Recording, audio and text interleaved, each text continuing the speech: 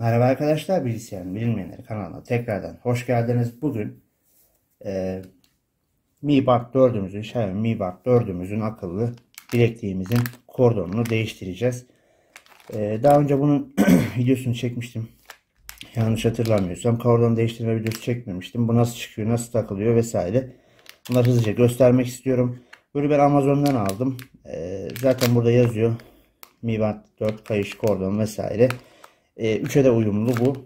Benimki 4. Şurasından bir şekilde bunu nereden yırtacağız? Şurasından yırtabilirim diye düşünüyorum. Şöyle siyah aldım. Ben grisi var. değişik değişik renkleri var. Şunu da kenara alacağım. Kutusunda zaten başka bir şey yazmıyor. Burası böyle ezik gibi geliyor. Çok da sıkıntı olacağını zannetmiyorum. Ee, hissi benimkinden biraz daha böyle basit gibi. Bu biraz daha lastik, bu biraz daha sert. Bu orijinaliydi. Orijinali bayağı bir yıprandı. Hatta şurasından biraz yırtılmıştı. Ee, vesaire. Bunu da değiştireceğim. Şöyle burundan e, ayarlarında galiba ekranın parlaklığı düşük kalmış şöyle 3 seviyesine getirirsek ekrana görünür diye düşünüyorum. Zaten bunun incelemesini yapmıştık. Şöyle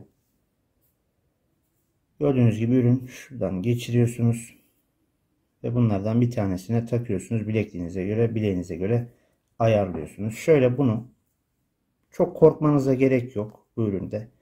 İki taraftan da çıkartabilirsiniz. Bir taraftan tutup bir tarafı böyle sündürüyorsunuz, gerdiriyorsunuz. İsterseniz bu taraftan da ise iki tarafı da gerdirebilirsiniz. Hiç fark etmiyor.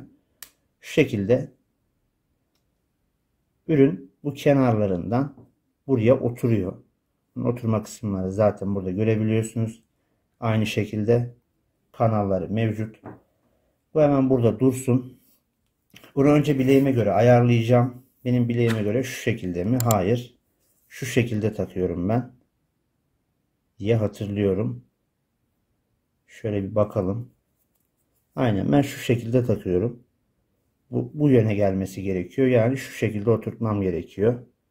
Şöyle göstereyim tekrar. Onun için ürünün alt kısmı burası. Şöyle ürünün bir tarafını oturttuktan sonra diğer tarafını sündürüyorum.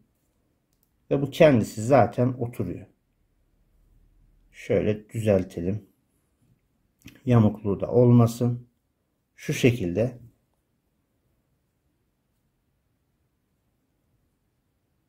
Bu bir, tık daha böyle siyah. Bu mat siyah.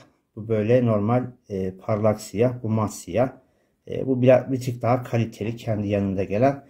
E, bu da iş görür diye düşünüyorum. Boyutları da muhtemelen aynıdır.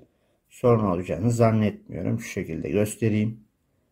Ee, bunu ben Amazon'dan aldım. 23-24 TL gibi bir fiyata aldım. Bu şekilde takabiliyorsunuz. Acaba ters mi taktım? Daha önceden ben nasıl takıyordum bunu hatırlamıyorum. Şunu şöyle mi takıyordum yoksa şu şekilde mi? Aynen bunu bu şekilde takıyordum galiba. Yok ama tamam tamam doğru taktık. Ürün bu şekilde. Ürünü bu şekilde doğru taktım. Hatta şuradan geçirirsem acaba sığar mı? Sığmaz. Bu yeni olduğu için şu an biraz böyle alışma safhasında olduğu için biraz böyle gergin duruyor. Sert duruyor. Onun için buradan geçmiyor. Şöyle şuradan geçirip şuraya takıyorum. Çok fazla zorlamanıza gerek yok. Alttan da destek verirseniz bileğinize zarar gelmez. Şu şekilde e, ürün oturmuş oldu. Şöyle tekrardan çıkartıyorum. Bu şekilde alıp kendiniz rahatlıkla değiştirebilirsiniz. Hatta hemen tekrar çıkartabilirim. Gördüğünüz gibi bir tarafı çıktıktan sonra zaten diğer tarafının herhangi bir şeyi kalmıyor. Çekip çıkartın.